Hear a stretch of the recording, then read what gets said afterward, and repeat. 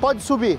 Lembrando que aqui está com as barras estabilizadoras conectadas. Se você vê a distância do pneu para o paralama, ainda tem aqui um pouquinho mais de quatro dedos, cinco dedos fechados. Mas agora eu vou mostrar o Sway Bar Disconnect, que é o, as barras estabilizadoras desconectadas. Bom, barras desconectadas, agora vocês vão ver a diferença. Gerson, pode subir meu amigo.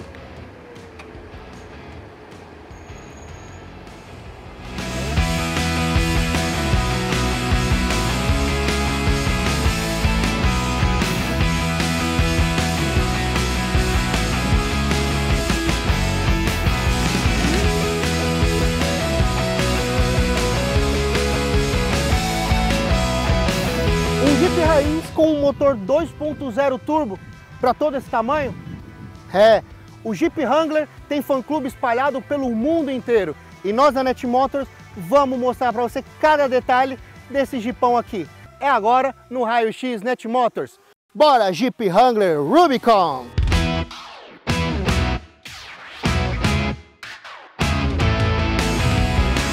Como uma das principais características do Jeep Wrangler Rubicon é escalada e enfrentar terrenos acidentados, nós temos que dar atenção para suas medidas. E também para esse pneu aqui e as rodas. Olha que roda bonita. Chega aí, Eric.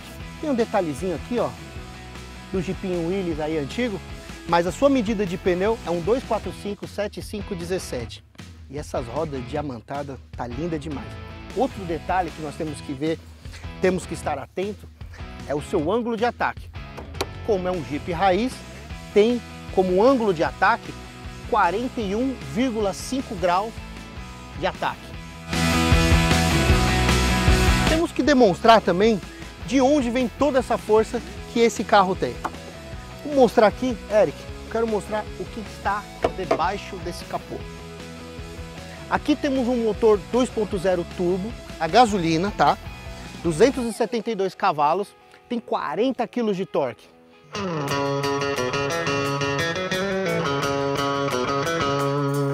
Abertura do seu porta-mala é bem particular, né? Tem essa particularidade que é do Wrangler, que abre a porta lateral e sobe o seu vidro. Aqui dentro tem 498 litros. Eu queria que você fizesse a comparação do teste que nós fizemos com o Gladiator no dia do seu lançamento que está lá no nosso canal. E vamos falar do acabamento rapidamente. Você vê cor em tudo e é impermeável. Seu sistema de som é total Alpine. E as caixas de som estão alojadas nesse Santo Antônio. Ele tem isso por causa do seu teto que é removível. E uma das formas de você curtir esse carro. E suas portas também são removíveis. O painel digital é de 7 polegadas e tem os seus odômetros analógicos ainda. O multimídia tem o tamanho de 8,4 e todo o seu sistema de navegação acoplado a ele.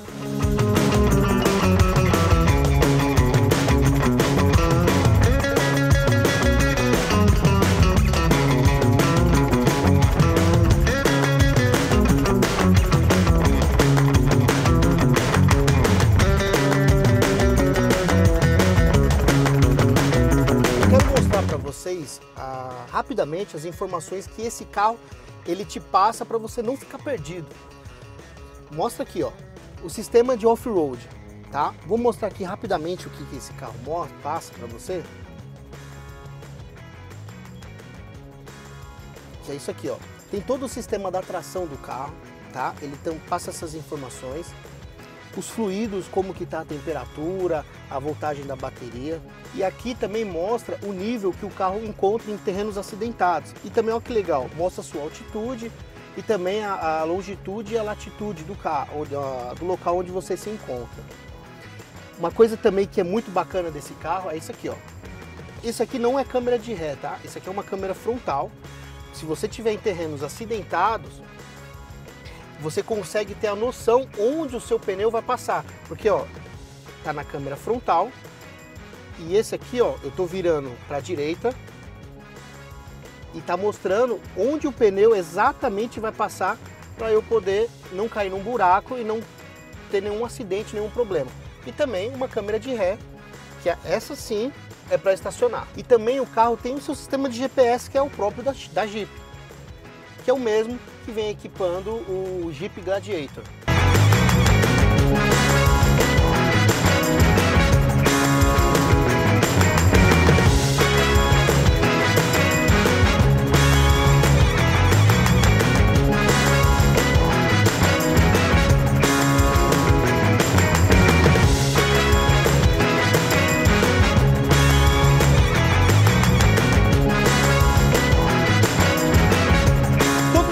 Nós fizemos do 4x4, tem um que se destaca, que é o Sway Bar Disconnect, que é onde o carro desconecta as barras estabilizadoras. E eu vou mostrar para você agora na prática.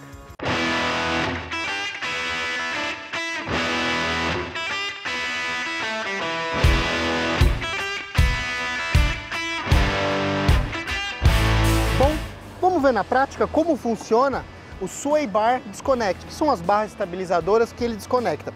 Vamos ver na diferença, elas conectadas e depois elas desconectadas que você vai ver o que, que esse Jeep é capaz. Estou aqui com meu amigo Gerson, aqui da Albuquerque Empilhadeiras. Gerson, pode subir. Lembrando que aqui está com as barras estabilizadoras conectadas. Aí, desce um pouquinho, pode descer. Então, aí vocês podem analisar aqui, ó, tá na altura do meu joelho, um pouquinho abaixo, um dedo assim do meu joelho. E Eric, vem cá. Se você vê a distância do pneu para o paralama, ainda tem aqui um pouquinho mais de quatro dedos, cinco dedos fechados. E vem dar uma olhada aqui para esse lado aqui, ó. A carroceria tá levemente inclinada. E ó, mostra aqui de baixo, Eric, aqui dentro, ó. Mostra aqui de baixo. E você vê aqui que ele tem pouca torção no chassi. Mas agora eu vou mostrar o Sway Bar Disconnect, que é o, as barras estabilizadoras desconectadas. Vou lá dentro desconectar, vou baixar o carro e vamos mostrar para você na prática. Vou mostrar para vocês qual é o processo para desconectar as barras estabilizadoras, tá? Você tem que deixar na 4x4 reduzido, tá? Deixa no neutro, 4x4 reduzido, sway bar, você só deixa as barras estabilizadoras traseiras conectadas. A da frente já está desconectada, tá, liberou aqui, ó, tá? E nós vamos pro teste agora. Bom, barras desconectadas, agora vocês vão ver a diferença. Gerson, pode subir meu amigo.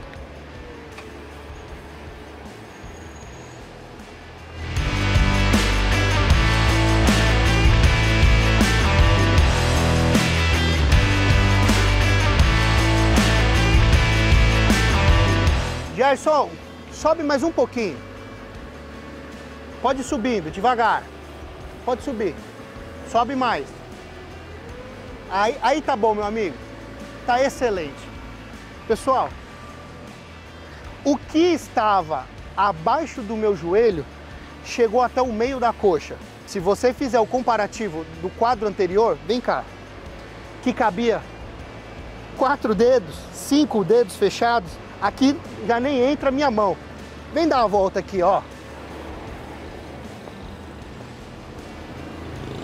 Mostra a torção da barra. E detalhe, todos os pneus no chão. Os três pneus no chão, o teste é feito dessa forma. Então você vê o diferencial da barra estabilizadora desconectada em terrenos acidentados. Agora eu quero o comparativo da barra estabilizadora conectada e essa daqui que está desconectada. É ou não é importante? É disso que eu gosto, um Jeep raiz. Ah, que dia mais do que especial e eu espero que vocês tenham gostado. Comente aí, siga a gente nas nossas redes sociais e eu quero saber qual teste que vocês querem ver aqui no Netmotors. Valeu pessoal, um beijo grande e até breve!